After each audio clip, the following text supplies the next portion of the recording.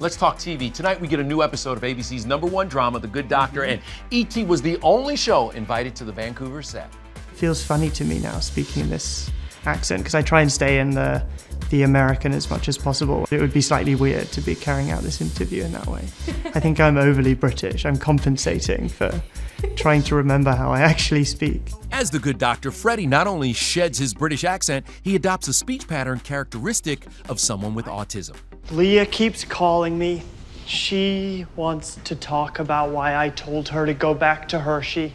With the medical drama in its sophomore year now, we had a lot of questions for this cast, so our quiz is just what the doctor ordered. If The Good Doctor could do a crossover with any TV series, I'd pick.